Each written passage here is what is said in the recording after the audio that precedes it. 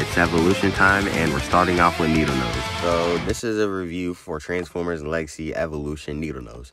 Needle Nose is one of my favorite figures so far from this Evolution line, and he's kind of cool, poses great. Now let me explain why I love him so much. He's a double target master, and he just looks cool. He even comes with the double target masters. That's just a surprise itself. No. But there's only one flaw with it. it it's kind it's kind of lazy. I mean, just fold that piece up, you're done. Fold it up, you're done. It's lazy, but it, it just works. Okay, it just works. I, it's plastic effect compatible, and you can get out some good poses with this. And it actually looks good. I could even give it to Velocitron Scourge and give him a gun. But it's that later clever. Price point. So for some size comparisons, here's go Titans Return Quake, Siege Spinister, and Siege Flavius. Legacy Skullgrin, Velocitron Scourge, Siege Thundercracker. Legacy Stunticons and D-Axis. I mean, they look good, sort of. Sides from Wild Rider. Bumblebee Movie Ratchet and 86 Ironhide. Yeah, they're about to get killed off in the recreation of a shuttle scene. Now, onto transformation. The transformation is simple, but it's fun. So first off, you're to fold up the arms and make sure to twist them to the side. This is not Siege Spinister.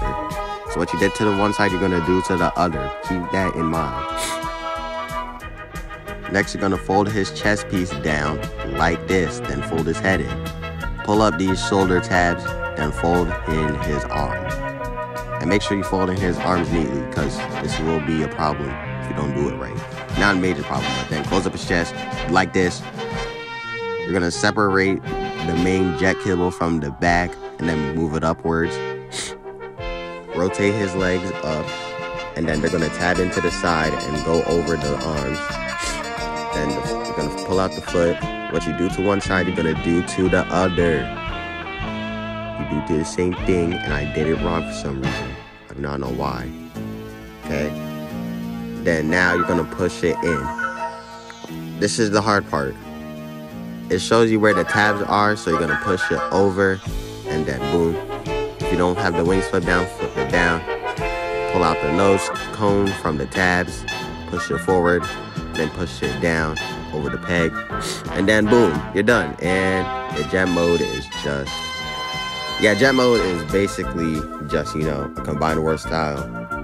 The, the feet just hang out. I don't like it. Hey, just find me 5 millimeter port so you can stick in blast effects. And the blast effects actually fit. That's a surprise. No.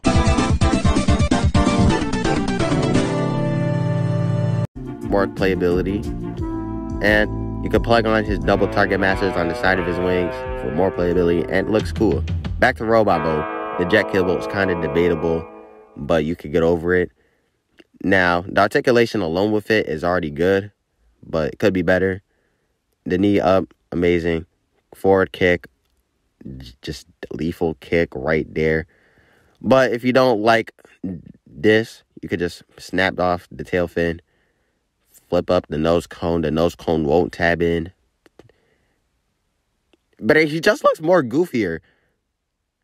Then you just put the tail fin wherever you want, I guess. I mean, better articulation, but he just looks goofy either way. So lose lose.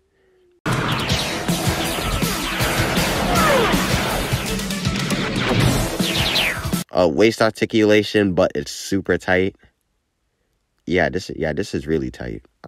You know, arms bend maximum, wrist swivel. I forgot I forgot the bicep swivel, but you know, just upper half is basically Siege Spinister, up and down and side to side, whatever. So overall, Legacy Needle Nose is a good figure. I'd recommend you buy this. And it looks good along his other double target master partners. He poses good. You might have a problem with the legs, but really, he just looks good, and you can get over it after a while. This was uh, your boy Maybe Deathscythe, and I'll see you in the next review. Bye. Please like, comment, and subscribe. Uh, I'm trying to get to 200 subs before March. Uh, I really appreciate it if you can subscribe. Thank you. All right. Bye, bye for real this time.